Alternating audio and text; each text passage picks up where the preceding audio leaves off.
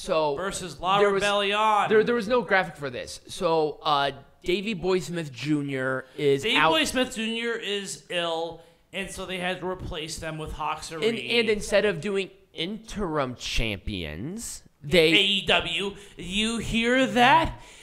There is no interim champions. Oh, Snow. and they stripped the champions from them because one of them could not compete. When Davy Boy Smith is healthy, guess who gets first crack at the World Tag Team Champions? the Commonwealth Connection? Yes, because they're the champions. Oh my god, like this shouldn't be like duh, but apparently it has to be. So, anyways, Hawx Aerie, La Rebelión. This was a good match. It was. It was Now- actually a decent match. Now, given given the circumstances and how much they actually had to do to prepare for this match, I thought it was really good.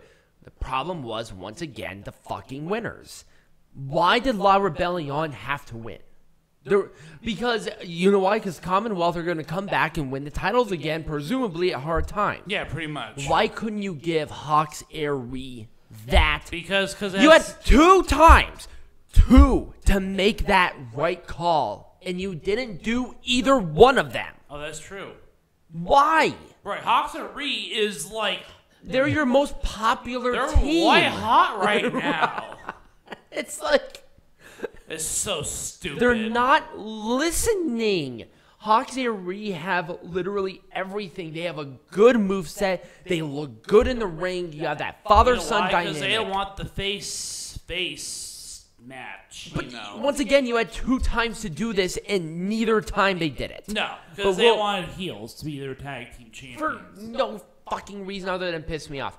Anyway, it was a roll up after Wow. a red miss from uh, Bestia Sesses. No, I'm sorry, uh, Damien Sesses. Excuse me, for them to win. Also, Cool. one one tag team champion. They did not have both. They only had one, presumably. But how? Hawx Aerie should have won this. I'm sorry. No, I'm ha- I'm gonna have a moan, and you're